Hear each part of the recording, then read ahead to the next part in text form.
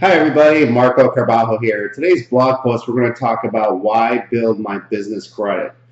In a recent interview that I did with Franchise Gator, I addressed the importance of building business credit. So in this blog post, we not only feature that particular article, but I want to also touch on a couple important things that uh, as to make the case as to why you as whether you're a startup business or an existing business, why it's essential that you build a business credit for your company. Now, as you know, there's the consumer credit reporting agencies, Equifax, TransUnion, and Experian.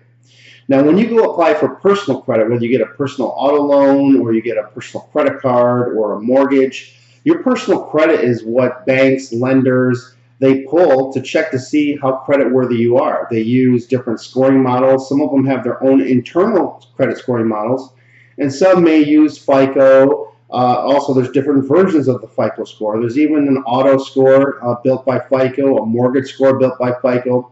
So obviously, you know the importance of building up your personal credit. Now, as a business owner, when you as a business owner are starting a new company and you have no revenues as a startup, uh, no collateral, nothing, so banks have to rely on you as an individual, as a business owner, to assess how potentially uh, creditworthy you are for the business, the startup. Now, if you simply rely on personal credit alone, yes, that will help you obtain some, some credit personally, but for the business itself, this is where business credit comes in.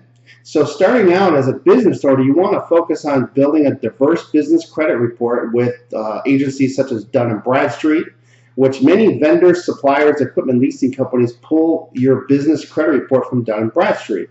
When it comes to Equifax small business and Experian business, uh, many banks and business credit card issuers pull from those particular bureaus. So if you don't have files established with all three major business credit reports, then more weight is going to be uh, based on your personal credit.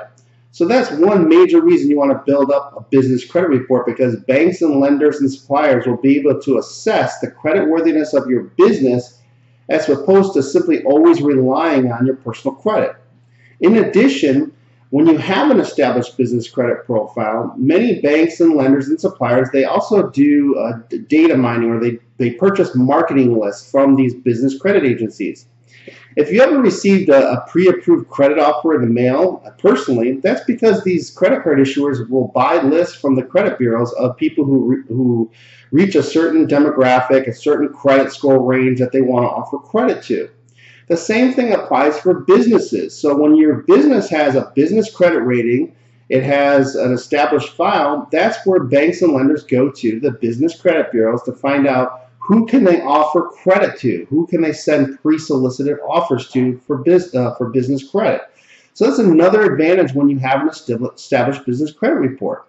Uh, finally, I want to talk about the separation between personal and business. There's many more other things we cover in this article, but the, one of the major things, of course, is protecting yourself personally.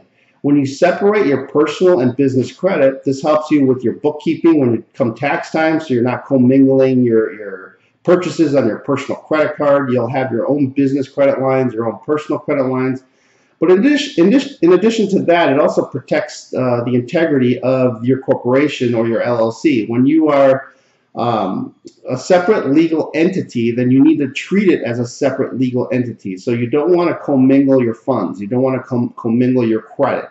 So this also makes sure that you're running a, a legitimate operation um, and then this just opens you up to potential risk when you're commingling your funds with your personal and business. So with that, enjoy today's blog post. For more information, feel free to check out our blog, businesscreditblogger.com. Click on the subscribe button below. You'll get videos like this on a regular basis. Also check out our business credit building platform at businesscreditbuildingsystem.com. With that, make it a great day. We'll talk to you real soon.